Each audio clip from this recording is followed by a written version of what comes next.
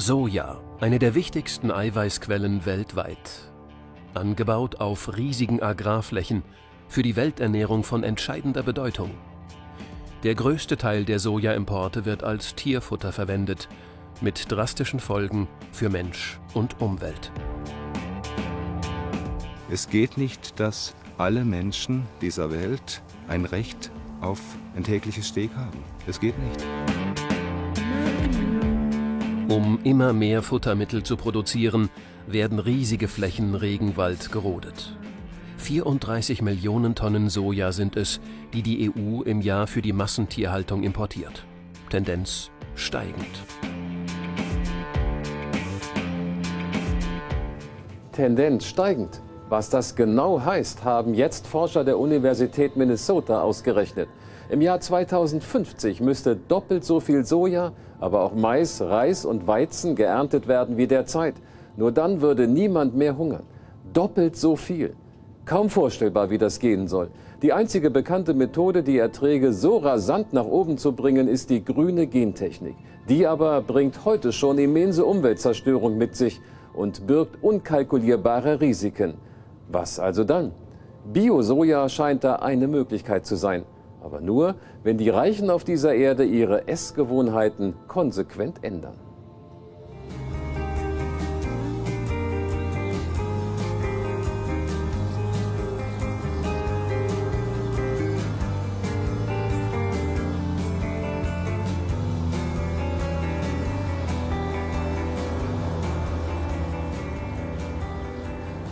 Ein Sojafeld in der Nähe von Freiburg. Tofu-Produzent Wolfgang Heck bei der Qualitätskontrolle. Seit über 25 Jahren arbeitet er mit Soja. Seine Vision? Mit Lebensmitteln die Welt verändern. Mit sieben Kilo äh, Sojabohnen machen wir rund 14 Kilo Tofu, was in der Wertigkeit gegenüber dem Fleisch gleichwertig ist. Ja?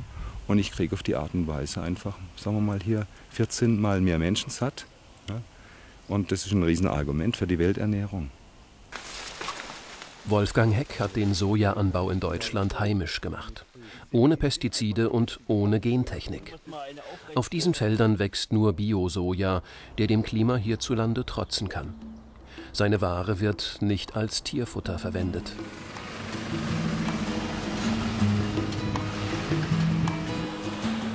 Mitte der 80er Jahre ist Wolfgang Heck in das Sojageschäft eingestiegen. Taifun, Europas größter Bio-Tofu-Hersteller, wurde gegründet. Vor über 25 Jahren war die Produktion von Tofu noch etwas komplett Neues in Deutschland. Heute arbeiten über 200 Menschen in dem Unternehmen.